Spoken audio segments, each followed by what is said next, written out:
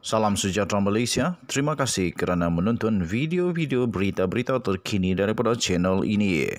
Sebentar lagi kita akan mulakan berita terkini daripada channel ini. Tapi sebelum itu sila pertimbangkan untuk tekan butang subscribe, like dan share.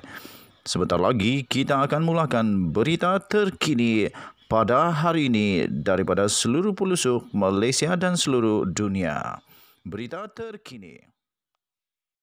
Salam sejahtera Malaysia. Berita seterusnya dipetik daripada inforakyat.net bertajuk Gempar. Speaker maklum Istana Sokong Muhyiddin kini hanya 100, kata sumber. Istana Negara didakwa memohon pengesahan Speaker Dewan Rakyat berhubung jumlah sokongan anggota Dewan Rakyat terhadap Muhyiddin Yassin. Berdasarkan surat yang tular, Datuk Pengelola Bijaya Istana Negara mengutuskan surat kepada stiker, Speaker Azhar Harun pada 9 Ogos.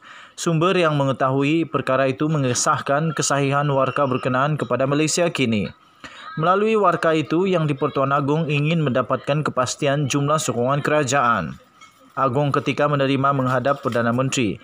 Istana berkata Azhar melalui surat pada 3 Ogos memberitahu kedudukan semasa sokongan kepada Muhyiddin adalah 106 orang. Bagaimanapun, kata istana, pada 4 dan 6 Ogos, dua anggota jemaah menteri meletakkan jawatan menjadikan jumlah sokongan berkurangan dua orang. Pihak Istana Negara juga mendapat makluman bahawa empat Dewan Negara, empat ahli Dewan Negara telah menukar pendirian dan telah menyokong Yang Amat Berhormat Perdana Menteri. Walau bagaimanapun sehingga kini tiada laporan rasmi daripada Yang Berhormat Datuk berkaitan perkara tersebut.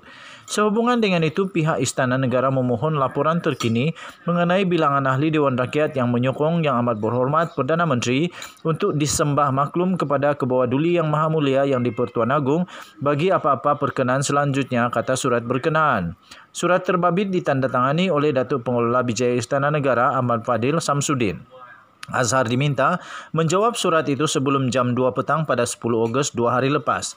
Pada 9 Ogos lalu, AMNO mendedahkan 13 surat membabitkan ahli parlimen termasuk timbalan Ketua Menteri Sabah Bung Mokhtar Radin dan ahli parlimen Kimanis Muhammad Alamin yang tidak lagi menyokong Muhyiddin.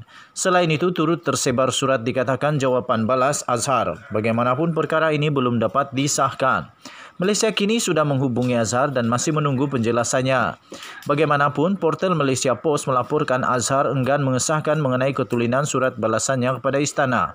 Katanya, maaf saya tak boleh komen mengenai komunikasi rasmi saya. Lebih-lebih lagi kalau dengan pihak istana. Dia dipetik sebagai berkata menerusi aplikasi WhatsApp. Sekian berita, salam sejahtera Malaysia. Bye-bye.